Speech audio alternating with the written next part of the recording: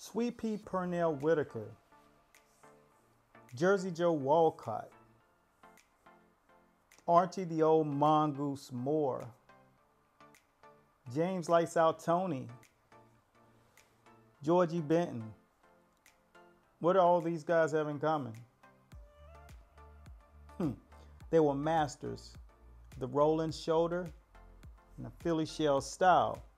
But what I thought it would be important to do is bring to you something that gave you an insight to what boxing truly is and that it's come from an immense lineage and that nothing that you see is new. The guys who actually did it better did it way back. So today we're gonna drop it. What is it? It's gonna start you off. It's it's, it's great episode for one.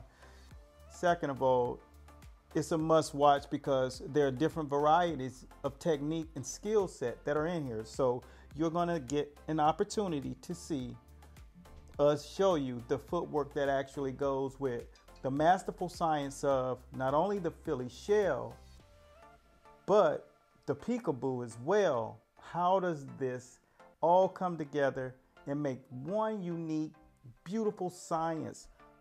Pronate punches I can't even begin to tell you this is not the show that you do not want to miss. And we're going to lead this off with some footwork. So, no further ado, it's time to box.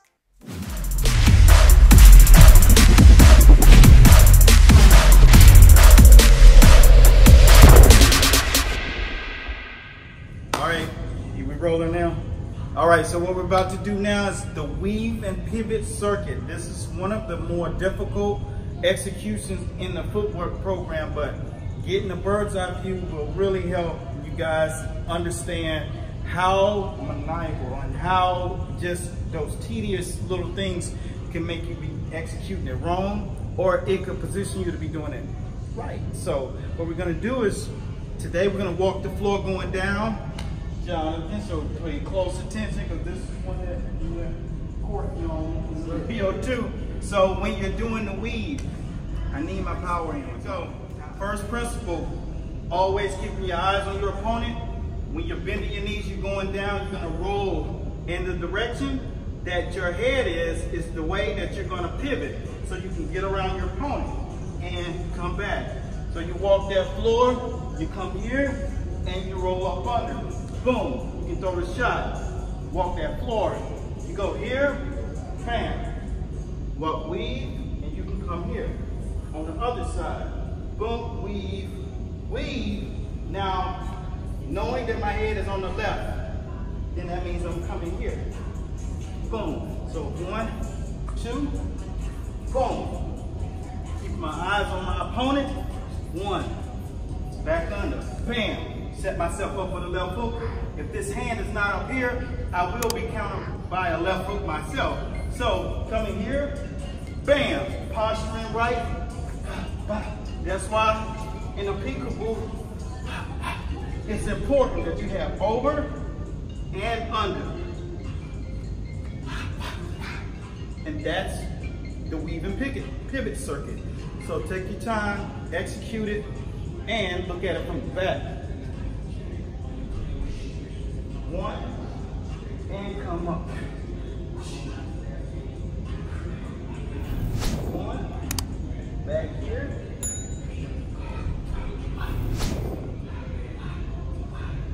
What time is it? Work, work time. Let's get this work. All right.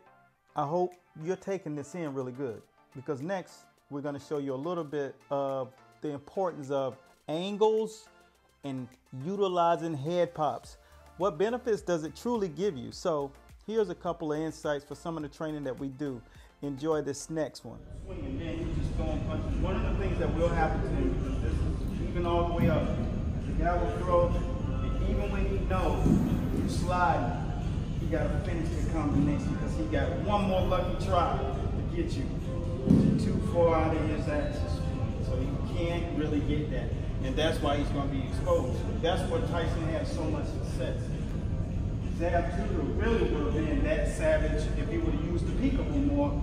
He was so comfortable with the shell, and he wouldn't use his offensive prowess Even though he punched with that, that, that, that lightning, didn't use that prowess.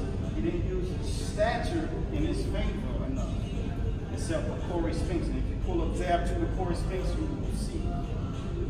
Fight the second fight. Beautiful masterpiece. That's where you'll see what you're doing. Really position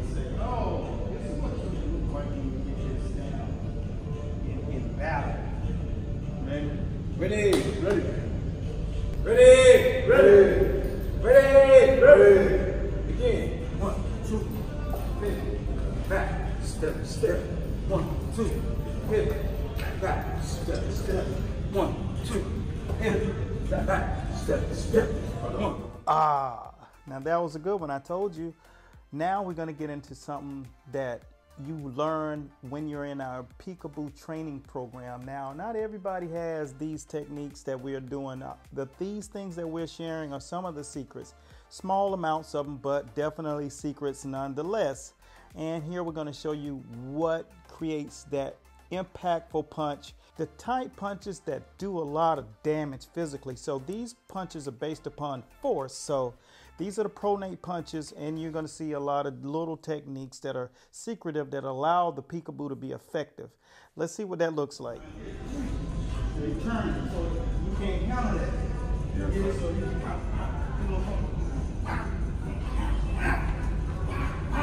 Can do that because he's coming like this. And he's that over the top. Well, as you know, we coach and we work with guys and, and make sure that you have the right information. So there's a, a lot of questions that we listen to you guys talk about, and some of it is how do you fight a taller fighter?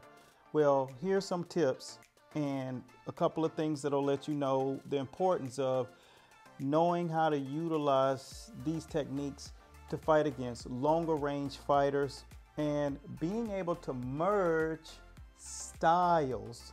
That's what our system is based upon merging styles. So let's see what Coach Bradley has to say about that. Mm-hmm. Always better, so you can, because you'll feel better like this because you cover more ground. But right here, you're going to come back up more balanced. And you see when I go on my offensive attack, I'm, all, I'm, I'm with it. So to get to that point that you can do that, you have to get reps. It has to become second nature. You got to do it. Take your pants off, take your underwear off in the shower before you get in. You got to practice. You know, before you about to poop, hold it. Practice. You know what I'm saying? Let's get this work. Master boxing. Back, step, step, under, under, hit, back, step, step, under, under, hit, back, step, step, under, under, hit, back, step, step, Under, pivot, back, step, step, step. under, Good. under, hit, Y'all don't understand. This is what you call that super slick shit. That like a guy can watch you video, but they don't understand how is it happening because your footwork is maniacal. You get it? step, step, one, two, hit, back, step, step, one, two, hit, back, step, step, one, two, hit, back, step, step, one, two, hit, back. Uh, I told you it was going to be a very quick but insightful, and that's what we do in the School of Boxing. Last but not least, we're going to show you the matrix. What makes this style, this unique thing that Sweet Pea used to do, create that layer of invincibility and invisibility. This is the matrix on It's Time to Box. Check it out. Alan, we did this drill. You want to know, once people get it, they love it because it's like, yo, I can just see the punches coming. And that's why we go one, two, three. But you got to really know how to bend your knees. You know, you got to know how to do that and, and come back and jab step and all that and pivot that foot and step and You know, it's like Barry Sanders running the ball. You know, you don't know what's coming. Like in the, I don't care how good your defense is. Floyd Mayweather got crossed up. You know what I'm saying by Bone Collector. Like you can't do nothing. That's that. That's the matrix. You don't know what's coming. Period. So you cross people up. They're like, we do them legs bent. That's why we go four corners. That's the same breakdown when we do the one, two, three. That's this. That Mike Tyson stuff, but it's broken down. One, two, three. I had to figure out how to teach people to get it because they couldn't get it. So I had to tell them, just like, take that one, shift this one, turn that, get back to center. And throw a punch nobody see coming. When you're on the side of somebody, they're looking at your hand, they're only looking under. Right? And especially when you're throwing hands punches. You know, damaging people. And they like, they exhausted and they mentally exhausted. So you see how the legs is? Look at the angle. Because the weight right here, as it shifts around. De La Hoya, Chavez, all of them ate that. You know what I'm saying? People try to do it, they don't know how to do it. They don't understand how much training the legs got to go through. It's not just athleticism. Because if that was the case, everybody would know how to do the matrix. Ready? Let's go ahead and do the four. So do that step. That's all I want you to pop. Pop.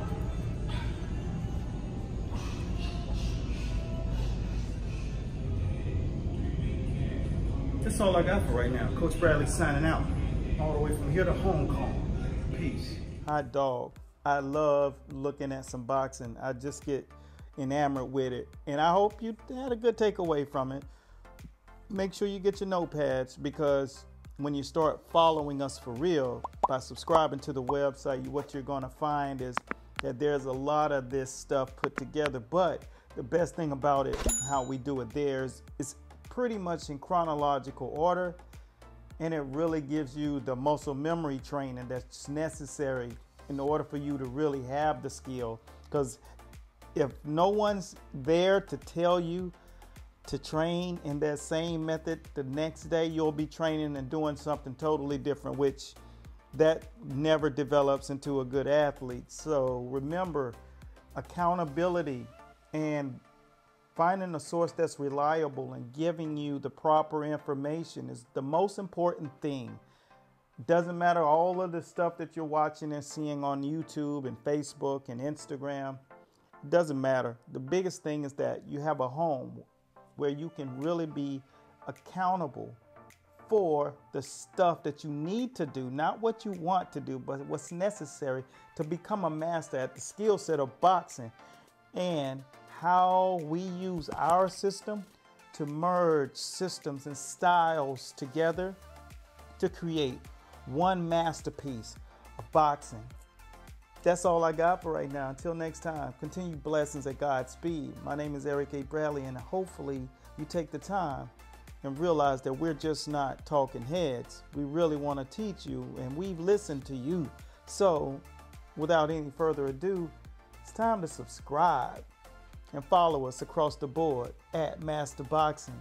Until next time, we're out. The Matrix Go check us out. It's worth the subscription. Peace.